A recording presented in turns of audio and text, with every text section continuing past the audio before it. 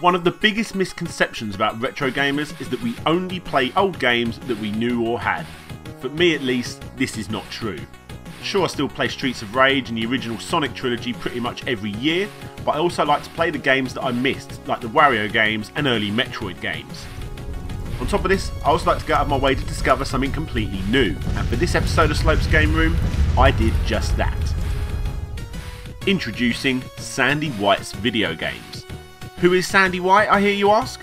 Well, as usual on Slopes Game Room, it's best to start in the beginning. So, let's go back to the 60s. Smashing, baby. It all started one Saturday morning when Sandy White, a young child at the time, was taken by his father to Woolworths and was brought some torch bulbs, batteries, wire, and a switch. Sandy's dad then showed him how to wire them all up.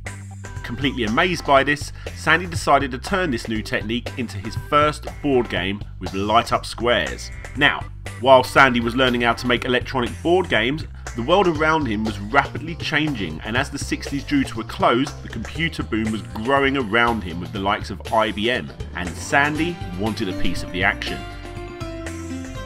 Unfortunately, though, he didn't have enough money to buy a computer, so he decided to make his own from old relays chucked out by his local post office. After a few homemade post office computers, Sandy was lucky enough to find an Acorn Atom, and finally, Sandy was able to put down the soldering iron and start coding. But what was Sandy going to do with his new coding skills? Well, even he didn't know. It was actually his brother that came along and saw what he was able to do and suggested that he made a game. So, that's exactly what Sandy did. Sandy didn't even realise a game industry existed, but decided to make one anyway. And he started playing around with isometric shapes to give a 3D graphics effect. He quickly realised that when you put these shapes together, they started to look like buildings. Little did Sandy know, but this was in fact the start of what would eventually become the game that he is most known for. Ant Attack. It was his love of art and the building of his board games that eventually helped Sandy make the beloved game we know today with the Acorn Atom. With the Acorn Atom not up to the task, it wasn't until the Spectrum that Sandy would officially start work on the game. Now he can turn those isometric shapes into a whole city. It was a grueling process, but nonetheless, Sandy went ahead and created the city of Antescher. Unknown to him at the time, but Sandy had just created one of the first 3D worlds that you, the character, could actually walk around in and explore. A massive milestone for the industry. The game was eventually released, and then in 1983, the year I was born, Ant Attack was picked up by a small UK publisher known as Quicksilva the same Quicksilva responsible for the fantastic bugaboo The Flea which I covered in the first Slopes Game Room video. Quicksilva published the game and in short, it was a big, big success. Believed by some to not only be the first true isometric 3D world, but also the first ever survival horror game. And let's be honest, this is pretty scary. You start by choosing between a man and a woman, which was the first for its time, not only can you be a guy saving a girl, but now you can be a girl saving a guy. In the game, you need to enter the overrun by giant ants city, save the survivors, and take them away without dying. You do this by using your scanner to find the missing survivors and the obstacles in the game to dodge the ants. You even have a grenade at your disposal. Once you have saved the survivor from the walled city, it's time to do it all again. It's a brilliant little game, even by today's standard, and it can be a real joy to play. It goes without saying that back in 1983, it was completely groundbreaking. So here we have it, Sandy's first game. But the pressure was on, as you'd expect. It wasn't long before Quicksilva came knocking on the door to try and get Sandy to make a sequel. Which brings us to Zombie Zombie.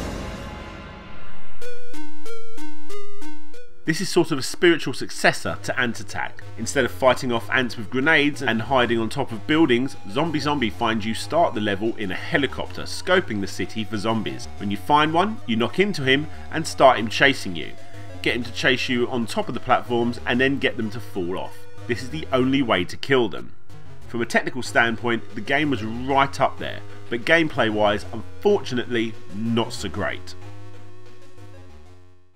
So, onto Sandy's third game, I of the Mask, which leaves the isometric level design behind in favour for a 3D exploration similar to the first person shooters we know today.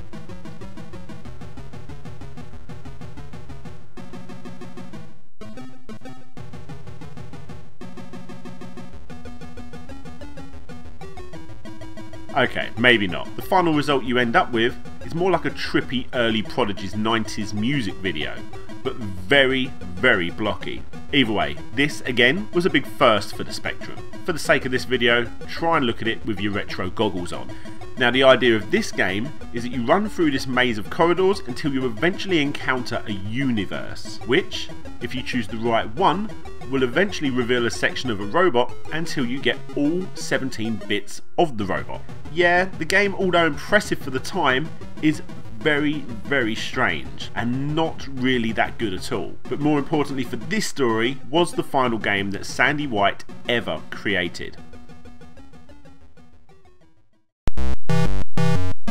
As retro gamers, let's not forget the leaps and bounds that has been taken here by just one guy. If you want to find out more about retro gaming, then you owe it to yourself to check out Sandy White and the incredible Ant Attack.